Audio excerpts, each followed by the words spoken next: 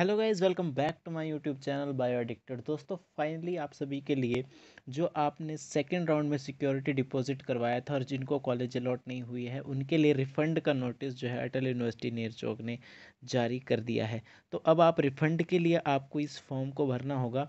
ये फॉर्म आपको मिलेगा अटल यूनिवर्सिटी नेर चौक की वेबसाइट पर। आपको डाउनलोड फॉर्म फॉर रिफ़ंड का एक ऑप्शन आएगा, आप वहाँ से इसको डाउनलोड कर सकते हैं। तो फॉर्म में आपको क्या क्या फॉर्मेलिटीज़ करनी है, क्या करना है?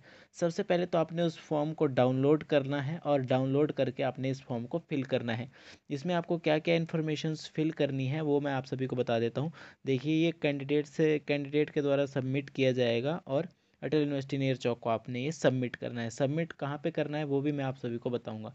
सबसे पहले तो नेम ऑफ़ द स्टूडेंट यहाँ पर आपने अपना नेम लिखना है। जो भी आपका नेम है फादर्स नेम आपको लिखना है प्रोग्राम और कोर्स जिसके लिए आपने अप्लाई किया था एमबीबीएस के लिए किया था तो एमबीबीएस के लिए बीडीएस के लिए तो किया था तो बीडीएस के लिए, दोनों के लिए किया था तो दोनों के लिए। अमरू एप्लीकेशन नंबर अटल यूनिवर्सिटी नेर चौक की तरफ़ से जो आपको एप्लीकेशन नंबर मिला था, वो आपने इसमें लिखना है। नीट यूजी रोल नंबर आपका नीट यूजी वन का रोल नंबर क्या था? मार्क्स क्या थे आपके नीट यूजी वन में? एंड देन उसके बाद आप सभी को ये और इन्फॉर्मेशंस भी इसमें भरनी होंगी। ये आप यहाँ पर देख सकते हैं।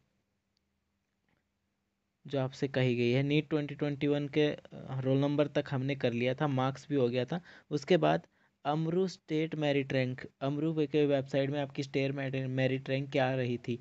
Have you alerted any college yes या नो क्या आपको कोई कॉलेज अलर्ट हुई है या नहीं? अगर तो हुई है तो आपकी फ़ी रिफंड नहीं होने वाली। ऑब्वियसली आप यहाँ पे नो करना है, क्योंकि आपको कॉलेज अलॉट नहीं हुई होगी। If yes then the name of college अगर अलॉट हुई तो तो कॉलेज का नेम लिखो यहाँ पर। राउंड ऑफ़ ऑनलाइन काउंसलिंग कि ऑनलाइन कौन सी ऑनलाइन काउंसलिंग के राउंड में आपको अलॉट हुई थी? अगर आपको कॉलेज अलॉट नहीं हुई है तो आपको यहाँ पे कुछ नहीं भरना है। उसके बाद आपको नेक्स्ट इससे आगे चलते चलते जाना है। यहाँ पर आप सभी देख सकते हो। उसके बाद देख सकते हो आप राउंड ऑफ़ काउंसलिंग का हो गया है। उसके बाद date of online counselling round where in the college was allocated जब आपको कॉलेज अलॉटेड नहीं हुआ है तो वो लिखना है कॉलेज अलॉट हुआ हो तो वो लिखना है। Amount of tuition fee deposited कितनी आपने ट्यूशन फ़ीस जो है वो डिपॉजिट कराई थी, कितने आपने टोकन अमाउंट जो डिपॉजिट करवाए थे। उसके बाद आपको रिसीट नंबर मिला होगा। रिसीट नंबर जो आपको मिला होगा, वो आपने देनी है। डेट डालनी है। पेमेंट मोड भरना है। ऑनलाइन की थी या ऑफलाइन पेमेंट की थी। अदर डिटेल्स कुछ हो तो वो डालनी है। Bank account number of candidate only. जो आपका कैंडिडेट है, जिस कैंडिडेट ने अप्लाई किया है, उसका बैंक अकाउंट का नंबर डालना है। आईएफएससी कोड डालना है आपने उस अकाउंट का नेम ऑफ़ ब्रांच लिखना है आपने उस अकाउंट की। ये सारी इन्फॉर्मेशन जो है आपको इसमें फिल कर लेनी है।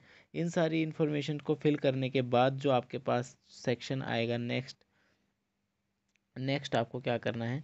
ये सारी इन्फॉर्मेशन जब आप भर भर दोगे I F S C code तक नेम ऑफ़ ब्रांच तक, उसके बाद आपको यहाँ पे मोबाइल नंबर डालना है ईमेल डालनी है एनी अदर इन्फॉर्मेशन कुछ और है। रीज़न ऑफ़ क्लेमिंग रिफ़ंड आप रिफ़ंड क्यों कर रहे हो? क्योंकि आपको सीट अलॉट नहीं हुई होगी, इसलिए तो आप रिफ़ंड कर रहे हो। अब ये जो सारा डाटा है M B B S and B D S course के दौरान, अगर आपको सीट अलॉट नहीं हुई है तो आपको आपका अमाउंट रिफ़ंडेबल हो जाएगा प्रोस्पेक्टस के हिसाब से। तो आप सभी के लिए ये थी इन्फॉर्मेशन आप सभी के लिए जो रिफंड का जो ऑप्शन है, अब अटल यूनिवर्सिटी नेर चौक ने आप सभी के लिए दे दिया है, जिन जिन को स्टूडेंट्स का रह गया था, और रिफ़ंड का फॉर्म आप भर सकते हो। उसके बाद आपको एंड में यहाँ पर डेट डेट लिखी होगी। डेट लिखनी है सिग्नेचर ऑफ़ पेरेंट्स और गार्जियन और सिग्नेचर ऑफ़ कैंडिडेट कैंडिडेट के सिग्नेचर आपको करने हैं। ये सब करने के बाद आपको क्या करना है? वो प्रोसीजर मैं आप सभी को बता देखा हूँ। जैसे आप ये प्रोसीजर कंप्लीट कर लेते हो, इसके बाद आपने दो ऑप्शन करने हैं। देखिए, मैंने अपनी आईडी से तो लॉगिन करके देखा था, क्योंकि मेरे को तो कॉलेज अलॉट हो चुकी है तो मेरी आईडी तो लॉगिन हो नहीं रही है। तो आपने क्या करना है अगर आपको कोई भी कॉलेज अलॉट नहीं हुआ है तो first of all first option पे आपने अपनी आईडी ओपन करके देख लेनी है। अगर आपकी आईडी ओपन करके कोई सबमिट का ऑप्शन आ रहा है या कोई रिफ़ंड का ऑप्शन आ रहा है तो वहाँ पर इस डॉक्यूमेंट की फ़ोटो आपने जो है वो सेंड कर देनी है। इस डॉक्यूमेंट को आपने फिल कर लेना है। ऑफलाइन इसको फिल कर लेना अपने आराम से। उसके बाद आपने इस डॉक्यूमेंट को सबमिट करना है। तो उस फ़ोटो की, इसकी डॉक्यूमेंट की आपने एक फ़ोटो लेनी है और अगर आपकी आईडी खुल रही होगी आईडी पे ऐसा कोई ऑप्शन आएगा सबमिट का तो आपने उसको सबमिट कर देना है। उसके बाद सेकंड चीज़ आपको क्या करनी है? सेकंड चीज़ आपको करनी है, अगर आपको ये आईडी नहीं ओपन हो रही या आईडी में ऐसा कोई ऑप्शन नहीं आता तो आपने हेल्प डेस्क अमरू की वेब जो ईमेल आईडी है, उस पर इसका जो है पीडीएफ आपने शेयर कर देना है। इसका उस पर इसका आपने पीडीएफ भेज देना है ईमेल बना के कि मैंने इस तरह से ये कॉलेज जो है वो भरी थी और अब मैं रिफ़ंड के लिए जो डिमांड कर रहा हूँ। तो आपने उसका पीडीएफ बना के हेल्प डेस्क अमरू की ईमेल आईडी पर भेज देना है। ईमेल आईडी मैं आपकी स्क्रीन पर शो करा दूँगा यहाँ पर। ईमेल आईडी कौन सी है? तो आपकी स्क्रीन पर शो हो रही होगी अभी ईमेल आईडी। इस ईमेल आईडी पर आपको सेंड कर देना है इसका पीडीएफ या फिर इसकी पिक्चर आपने इस ईमेल आईडी पर सेंड कर देनी है। उसके बाद जो है आपका रिफ़ंड इनिशिएट हो जाएगा। तो अभी ऐसा कोई क्लियर कट ऑप्शन वहाँ पे नहीं दिया है अटल यूनिवर्सिटी नेर चौक ने, लेकिन लास्ट टाइम हमने इसी तरह से रिफ़ंड आया था। कुछ स्टूडेंट्स का लास्ट टाइम इसी तरह से रिफ़ंड आया था। पाँच हज़ार रुपये की जो सिक्योरिटी डिपॉजिट थी, दस हज़ार रुपये की जो सिक्योरिटी डिपॉजिट थी, वो वापस आ गई थी। उन्होंने ईमेल पर सेंड किया था। तो आपने ईमेल पर सेंड करना है और आप क्या कर सकते हो? अगर आप अपनी आईडी लॉगिन कर लेना और आई लॉगिन करने के बाद वहाँ पर भी आप सबमिट कर सकते हो, अगर वहाँ पर कोई ऑप्शन आया। अगर वहाँ पर ऑप्शन नहीं आया तो आपने ईमेल आईडी पर जो है इसको सबमिट कर देना है। तो ये है आप सभी के लिए प्रोसीजर।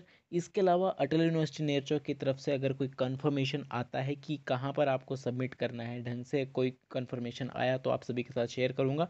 इन दो जगह पर तो आपने ज़रूर से शेयर कर देना है। आईडी पे शेयर ना हो तो ईमेल आईडी पर तो आपने ज़रूर से भेजना है।